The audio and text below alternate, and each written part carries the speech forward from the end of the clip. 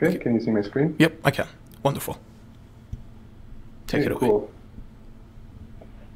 Hi guys, my name is uh, Marcin Swieczkowski, uh, and is managing your life with org mode and other tools. Uh, hopefully I don't run into any technical problems. I think that Vim users are trying to DDoS us today, uh, so we'll see if we can deal with that. This will be a pretty short talk about how I've been uh, managing my time with org mode over the couple of years, some things I've learned, uh, strategies I've developed. This talk should be um, uh, should be accessible for new users, and I think advanced users will also get a lot of benefit from it. Um, I hope you find it useful for your personal and professional life. Uh, so I want to start by saying that org mode is pretty complicated. There's a lot of features. Uh, sorry, someone's saying my sound is choppy. Is that better? Can you hear me now? It seems a little louder, but still a little bit choppy. Do go on, try. I don't really know what to what to do about that. Um, Okay, please carry on. It might be due to your internet connection. connection. Sorry.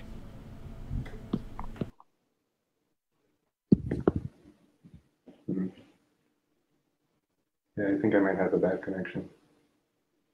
Yeah, possibly. But please go ahead. Thank you. All right, um, I'll do my best, guys. Uh, so, um, as I was saying, Org mode has a lot of features. Uh, you can see just a few examples here, and this is really just the, the iceberg. Um, the philosophy that's common in Emacs and its ecosystem is that it uh, has a very high skill cap. Um, it takes a long time to master it, but the hope is that you invest uh, effort into it. Um, uh, well, it's an investment with the hope of a large uh, productivity payoff in the long term. Uh, however, uh, obviously, org mode is just uh, plain text format, so it doesn't have to be complicated at all. And that's what I want to convey today. Is anyone's um, eager to get into org mode, but perhaps apprehensive about its complexity, um, it doesn't have to be complicated. The way I see it, simplicity um, has a lot of advantages over complexity. First of all, the skill cap is much lower. Um, so you can get started, you can uh, become productive uh, much more quickly. You can free up your mental processing towards uh, your other goals.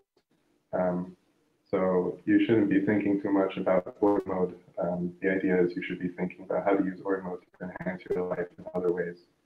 Uh, simple systems are more flexible, uh, they're less brittle, uh, and you also minimize the amount of effort you put into your actual system instead of uh, using your system towards uh, towards your goals, basically. Um, so whether it's bookkeep bookkeeping, like uh, like up, like just putting effort into your system, uh, uh, keeping track of it manually instead of automatically, um, that stuff interferes with your productivity. And of course, you can always add more features and uh, whatever you want. Uh, um, yeah, guys, I don't have uh, speakers or anything. I'm trying to talk next to the microphone, so it's choppy, it's the network. Um, I guess it's my here. Um, yeah, so I, I don't think I can do anything about that, but thanks, guys. So most people don't actually use org mode's features. Obviously, there are a lot of them. Uh, but you do have to decide uh, which subset do you want to use. If you're a new user, um, you might be overwhelmed. Uh, you might not know what uh, features to use. Um, so I'm going to go over sort of the, the org strategy that I've converged on after a couple of years, some of my rationale behind it. I hope that is useful for you guys. So here's my personal strategy in a nutshell. Uh, so the way I organize my to-do items, um, I keep my to-do list entirely in a, in a single file. Um, basically, all of my tasks, everything that I want to get done, is centralized in a single file with a known structure to me. Um, I don't, I try not to spread them around uh, various files. Uh, and I'll talk about, uh, well, it should be more clear soon, uh, um, the advantages of doing this. I don't use to-do items. Uh, something is in my to-do file, it's implicitly to-do. So uh, I don't have to go through the step of manually, manually marking something to do. Uh, I see that as extra bookkeeping. If something is in my to-do file, then it's going to show up in my org agenda, and that actually simplifies things a lot. Uh, I know that's not how most people use org mode. Um, again, you can you can do whatever you want. This is just what works for me. And uh, I have subtrees in my to-do file that uh, provide structure to my uh, uh, to my day-to-day tasks. So here's kind of what the uh, high-level structure looks like for my to-do file. I have several categories. I have one category where I put all of my new tasks. So when I have an idea for something I want to do, I just put it there and I think about categorizing it later. Uh, then I have recurring tasks. These are kind of the tasks that make up the structure of my life. They're the tasks that come up again and again, whether uh, stuff like exercising or uh, work-related responsibilities or stuff like that. Um, and I'll go over recurring tasks in more detail later. Uh, and then I have uh, some other categories, uh, and again, you can uh, you can organize this however you want. Um, and this is something I've converged on after after some experience using org mode. Uh, for one thing, I was forgetting to mark tasks to do, so I would write up a task, but I wouldn't uh, mark it to do, and it wouldn't show up in my agenda. Um, and the other thing is that I would have to-do items uh, scattered around my place, all my work files, and uh, the uh, the structure of my of my system was not apparently uh, clear, with it being a sort of um, well uh, scattered around my various files and hard to keep track of. So when I do want to work on something, I, uh, I schedule it, and this way it shows up in my work agenda. So I, I set up my work agenda not to show me to-do items, but to show me scheduled items. Um, and I, I keep to the scheduled dates as hard deadlines. Uh, this sort of makes my system flexible. So uh, everything that's in my agenda for a particular day what I try to get done that day as much as possible. Um, and uh, if I don't get them done, then they uh, become overdue items and uh, the backlog starts growing. And so that's motivation for me to, to um, do as much stuff as possible every day so my backlog doesn't get uh, too big. Uh, but if I do have a hard deadline, then you can always use deadlines. Um, the other thing is that I don't give tasks uh, concrete times for every day. Um, I find that it's too much planning uh, to give a specific time for every task. It's not really that flexible. Instead, um, I keep my days pretty spontaneous, and uh, when I'm able to do something, then I then I jump to do it.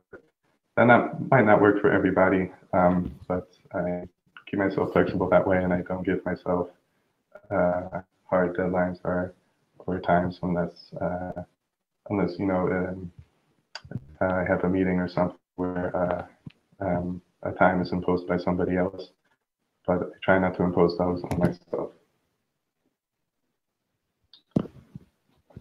So this is the basic strategy that I've been using to handle my tasks. Uh, and uh, I mentioned earlier, uh, I have recurring tasks as well. Um, when I finish a recurring task, instead of uh, just deleting it or archiving it, I, I, I reschedule them. And uh, again, there are some tasks that uh, I will be scheduling a lot. So I developed uh, a package to help me with this and sort of um, take away the, uh, the mental overhead of dealing with, uh, recurring uh, tasks, and I'll talk about this a bit more later. So here's some packages I use, uh, which I think are really nice and I think might help you as well. The first is org super agenda. You can see here that uh, this is my org agenda view. And what super agenda does is it lets you group items together. So, um, so things are, uh, so you have visual uh, groups of, of items that sort of you can do together at the same time. Uh, and it really helps a lot uh, when you're planning your day. Um, I do try to avoid having too many packages because uh, the more there are, the, the, more brittle the system gets. Uh, this one really is useful. So um, again, it lets you categorize your tasks however you want. And here's some ideas for how you can categorize uh, your tasks. You can go by urgency and priority, right? Um, you can create groups for uh, uh, the type of task, you know, um, like I have a shopping list, for example, and all of my, uh, all the things that I need to buy show up together so that when I'm at the store, uh, I see them all at the same time or in the same place. You know, you can, uh, can categorize by school, work, personal, different aspects of your life, or the time of day. Um, this might be helpful if you tend to leave all of your items until evening. If in the morning you don't feel any motivation to work on stuff, uh, you can uh, categorize some stuff uh, and uh, put it out over the day um, so that you can keep a nice pace throughout the day of things that you want to get done. And of course, uh, there's probably an infinite amount of ways to categorize stuff, but these are just some ideas. So uh, here's how I set up uh, org super agenda using use package. The first line is just making sure that it gets loaded after org agenda. And then I turn on org super agenda global mode. And here I define the actual categories. Uh, so the first one is if you uh, if you assign actual times to your tasks, then this first category uh, will show all of the tasks for the current day and it'll show a nice time grid, right? Uh, we give it a name using colon name today. Uh, and then we have some, uh, we have some conditions for uh, when a task goes into this group. So here, if it's a, if it's a task that's, uh, uh, that goes into the time grid, and it goes into this group. Um, also, if it has the to-do status today, then it'll go into this group. I don't really use this one very very often. The next one is high priority group, and here I give it the order uh, one. So uh, so you can specify the order these groups appearing. High priority, I want to appear first. And again, the uh, the condition is that the task has priority A. And then uh, this next one is interesting because uh, you have two different conditions. Either the work category is set or the work tag is set. Uh, and this gives you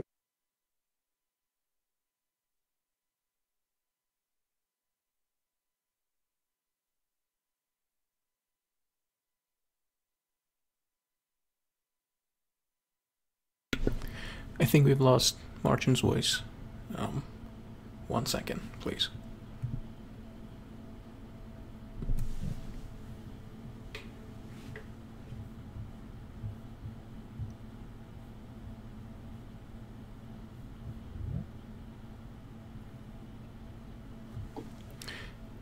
Okay, try speaking, Martin, please.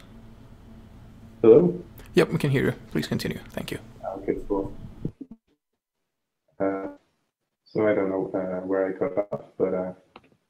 Last thing I was saying was that uh, you can um, uh, you can use either categories or tags uh, to um, to categorize your your entries, your tasks, and this this is pretty flexible. Um, and I'll go over how it works a bit later.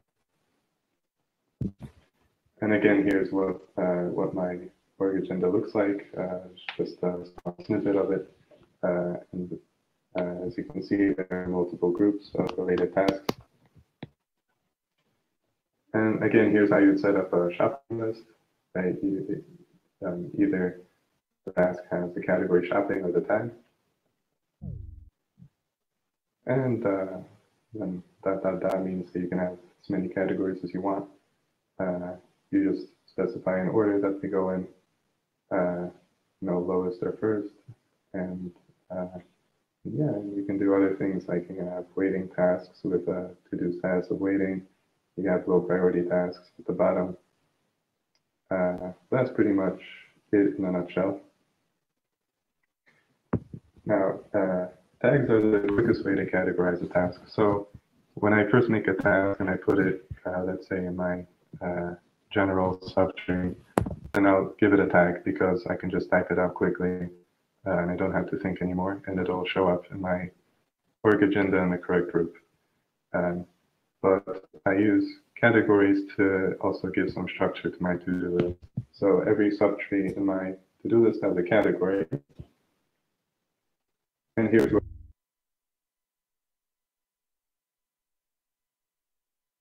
Okay, please hold on. We've lost sound again. One second.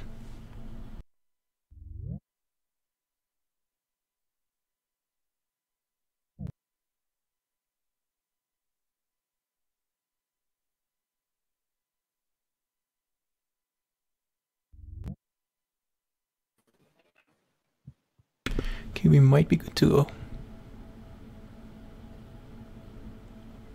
Archon, can you hear me?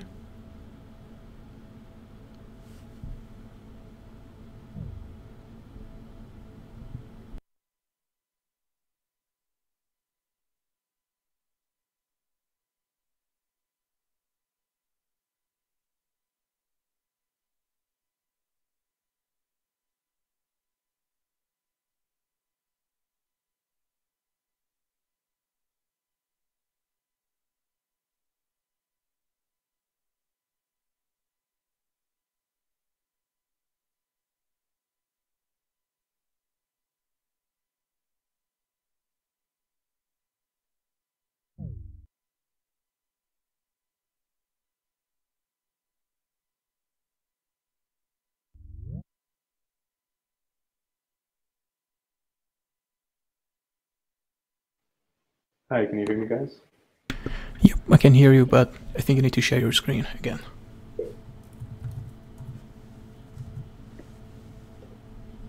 Yep, we can see you. Please do go on. Thank you.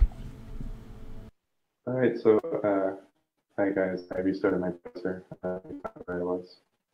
Uh, I think I was here.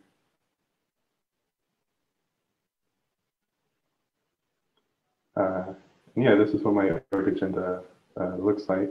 Uh, here's the, uh, the tech group. Um, and uh, yeah, that's pretty much that for org super agenda. It's a very nice package from alphapapa. I gave the link there. Uh, and I forgot to mention that I'll be posting the, the slides in the IRC chat and also on my GitHub. Uh, so if you guys want to check out the links or, um, or yeah, just go over the slides yourselves, then those will be available later.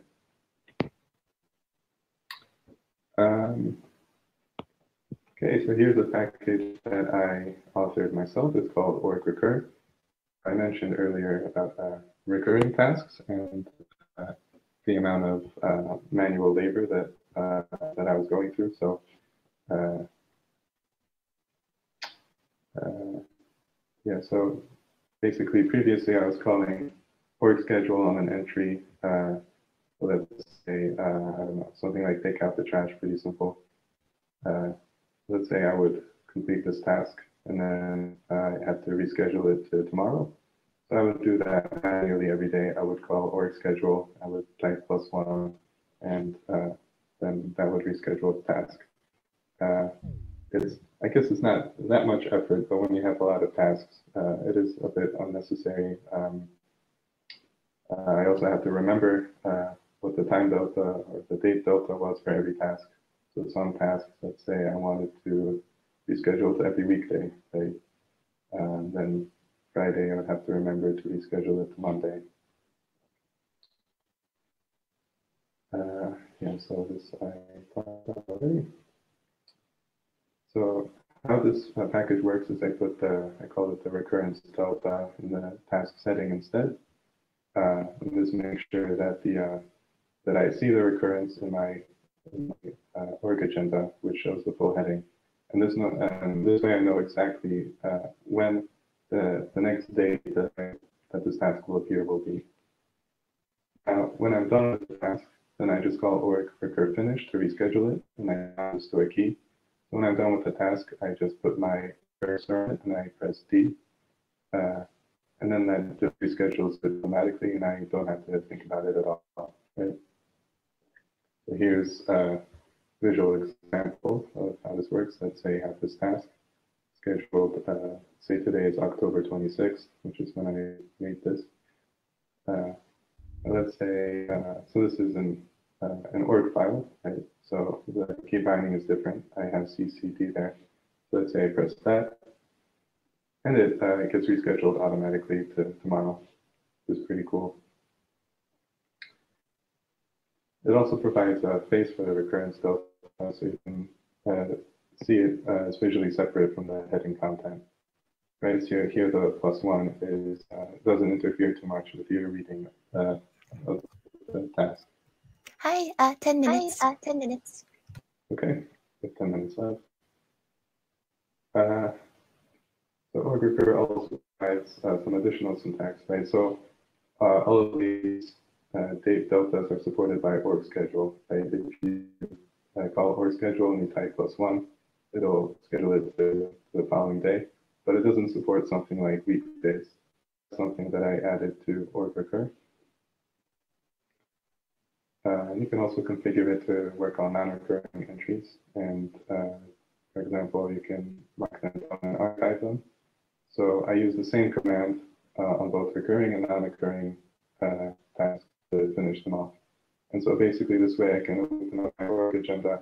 I can put my cursor on the task and just keep pressing D to mark them all done and just go through them really quickly. So here's some, uh, some examples. Uh, let's say you have a list of goals that you want to go through every day uh, at the start of the headline, or actually wherever you want. It can be at the end as well. Uh, you just type uh, pipe plus one pipe, and it'll get picked up by org recur automatically. Right, and then this will recur every day.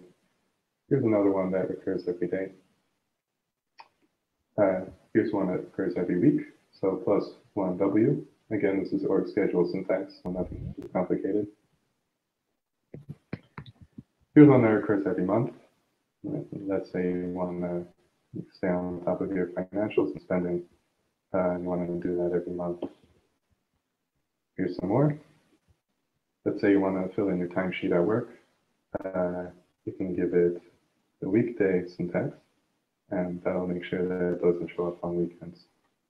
You can also do stuff like Saturday and Sunday. Again, this isn't supported by org schedule. This is just org recur. Uh, but I find this is pretty useful. Let's say you want to do every weekday and Saturday, that's fine as well. Maybe you want to do something on the 5th of every month. Well, then you just put 5. That's org schedule syntax again. Uh, so you guys can check out on the GitHub repository uh, some recommended configuration, uh, how to configure org agenda as well. It's not really necessary, but it'll, uh, it'll make things a bit uh, easier to use. Here are the key bindings I use to complete a task. I use CCD in org mode and just in org agenda. I also have, uh, there's also uh, a command built into org recur to schedule to today. So let's say you have a to, uh, an overdue item, you want to reschedule it to today. Uh, you just can type zero in org agenda really quick. If you want to schedule something to tomorrow, you just type one.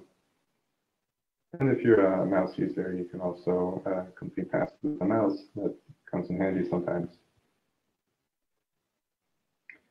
Uh, there are some alternatives to, to this, which are already included in org mode. Uh, and I uh, go into these in the GitHub repo. I personally find these a bit too complicated. Um, they have some shortcomings, uh, but they may be more suitable for you. I have a discussion about this. Um, there are some things that org doesn't support, like uh, let's say the first Sunday of every month. Um, that's something that uh, you'll have to into um, an alternative for. But for most things, for uh, for all of my needs, basically, I have to dive into into one of these. Uh, the last thing I wanted to talk about is uh, using Git, and I'm sure a lot of people do this already. Um, but you can put all of your org files into a single repository to track them. And then you can use Magit, which is really excellent. Uh, and you can uh, make sure that you don't lose anything, right? You can catch unintentional deletions and modifications. Uh, you can review recently made changes uh, periodically. Um, and pretty much it's pretty simple and Magit makes it uh, makes it a really nice experience. And it kind of ties into org recur because I have uh, I have a recurring uh, task to review all of my org changes every week. Um, so this makes sure that uh, well that I didn't delete anything by accident, which uh, has happened sometimes. And when it does happen, uh, I just revert it using my Five minutes. Okay, uh, that's pretty much it. So uh, hopefully um, uh, everyone can agree that uh, I didn't use really complicated aspects of org mode. Uh, my system is really very simple. Um, and it works well for me because I barely have to think about it. I, I don't have to do much bookkeeping at all except for uh, scheduling items uh, initially. Um, but uh, probably uh, come when, uh, when this doesn't suit your needs, and then you'll be looking to reach out to more complex functionality, and that's fine as well. And definitely you'll be using org mode in a different way than mine. There's so many features in it. Um, so if you're a new user, then no worries because you'll, uh, you'll converge on the best practice for yourself.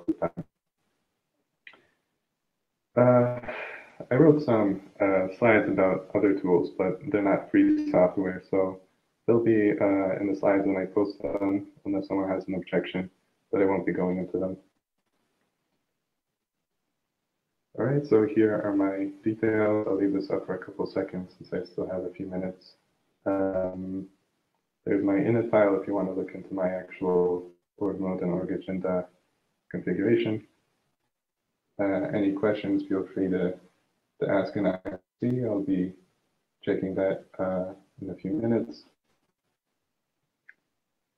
I'll just leave this up for a few more seconds. And I wanted to give credit to the photos that I used. And that's pretty much it. Awesome. Thank you for your talk. Now, since the talk is live, we're going to wait a couple minutes to see if there are any um, questions in the IRC. While waiting, I'm just going to give a quick shout out slash announcement. So Aramis is watching and he'd asked about the organ- organice presentation that whether organice's G Drive integration is possible without using proprietary software, to which Alain, uh, one of the people working on the project, replied that it actually is, and that they're just using their REST API, not even an SDK. So it's just plain JavaScript accessing a REST API. So I hope that answers that question. Um, also, I'm gonna I'd like to give a quick shout out to RWP and too many of in the emacsconf-accessible channel who've been basically giving textual descriptions of what's been happening happening in each talk since the conference uh, started. So that's wonderful. Thank you both so much, and of course anyone else if they're doing that also.